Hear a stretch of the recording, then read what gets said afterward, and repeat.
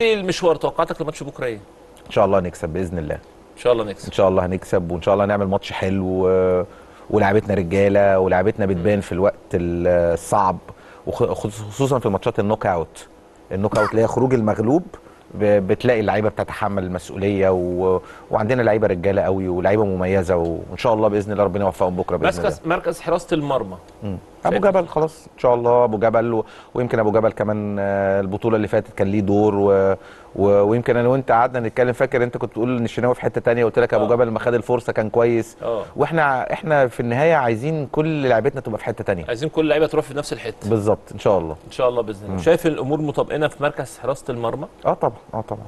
لو لو لو أحمد الشناوي لعب كويس جدا لو أبو جبل لعب كويس جدا لو لو محمد صبحي لعب يمكن أقل خبرة منهم شوية. لكن عندنا حراس كبار يعني. إحنا بنشوف شوية حراس بسم الله ما شاء الله في البطولة بيخلصوا على فرقهم يعني.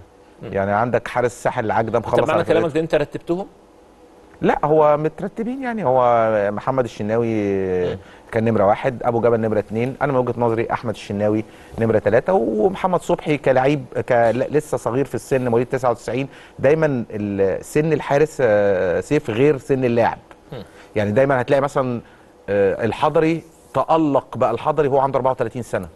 آه، الشناوي محمد الشناوي تألق وهو عنده مثلا آه، 29 سنة ولا يعني يعني دايما بتلاقي الحراس بيتألقوا في سن كبير بعد اكتساب الخبرة ولعب مباريات دولية وتحمل الضغوط. كنت تتخيل إن أنا ممكن في البطولة دي أكلمك وإحنا كنا بنتكلم في بدايتها إن أنا أكلمك في دور ال 16 في مباراة غايب منها الشناوي غايب منها صلاح غايب منها إمام عاشور. بص يعني عشان أكون حقاني يعني صلاح ومحمد الشناوي في حتة وإمام عاشور في حتة تانية.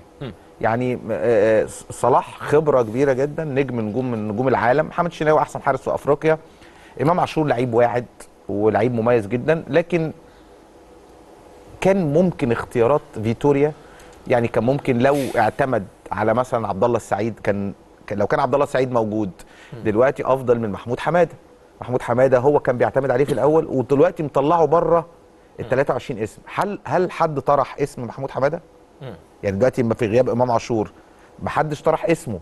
فأنت كان لازم تعتمد على اللعيبة الخبرات. يعني عبد الله السعيد لو موجود في القائمة دلوقتي في غياب إمام عاشور كان مين هيلعب؟ آه. عبد الله السعيد على طول. تحطه. دلوقتي لما بتيجي تفكر لا بتقول هيلاعب حمدي فتحي وهيلاعب آه، آه، مروان عطية المتألق وهيلاعب محمد النني. طيب أنت شايف إن اختيارات فيتوريا في حراسة المرمى كانت صح من البداية؟ آه يعني ما يعني صح. يعني كانت صح هو كان بيفكر في ثلاث لعيبة ثلاث حراس مرمى فوق ال 30 وبيفكر في حارس تحت ال 30